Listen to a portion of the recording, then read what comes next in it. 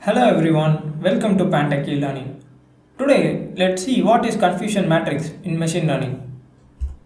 So, a confusion matrix is a matrix used to understand the performance of different classification models for a given set of test data.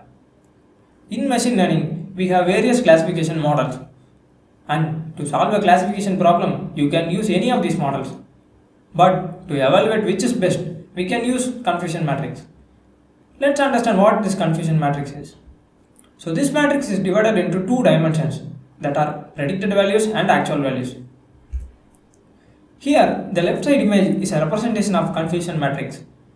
On the x axis it has the actual values and on y axis it has the predicted values. The right side image is a confusion matrix from a machine learning problem and on x axis we have two classes 0 and 1. Same on the y axis we have two classes 0 and 1. The difference is the x-axis has the actual values and y-axis has the predicted values from machine learning model. We can see the value 96 there on 0, comma 0 which is in actual value is 0 and the machine predicted value is also 0. So in 96 cases the machine predicted correctly. But below that in 23 cases the actual value is 0 but the machine predicted as 1. Same here on 1 comma 1 we can see 22 the actual value is 1 and the predicted value is also 1. So machine predicted correctly in 22 cases here. But in 13 cases, the actual value is 1 but the predicted value is 0. So machine miscalculated. So for this visualization, we can use confusion matrix. So how to create a confusion matrix? From sklearn.metrics, you have to import confusion matrix. To visualize it, we can use seaborn we have to create a variable and then call the confusion matrix. And you have to pass two arguments true value and a predicted value. With the help of seaborn heat map we can predict we can visualize it. We have to pass the variable here and then you have to mention annot equal to true to actually visualize the number how many cases in the confusion matrix. Let me show you an example how we can compare the model based on based on this confusion matrix. Let me open my jupyter notebook Here I have imported all the libraries here and I have imported the dataset. It is a diabetes dataset and you can see there are various features here and based on these features there is outcome either 1 or 0 where 1 represents presence of diabetes and 0 represents absence of diabetes.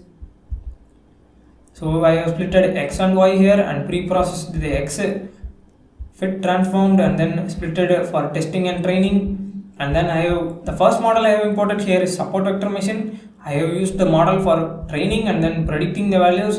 And I have calculated the accuracy score here. And then I have imported the confusion matrix. And with the help of Seaborn I have plotted the confusion matrix here. And you can see in 97 cases it predicted correctly the absence of diabetes. That is 0 as 0 but in 20 but in 22 cases it predicted wrongly. It predicted 0 as 1 so in 22 cases it predicted that uh, for the actual value is 0 but the predicted value is 1.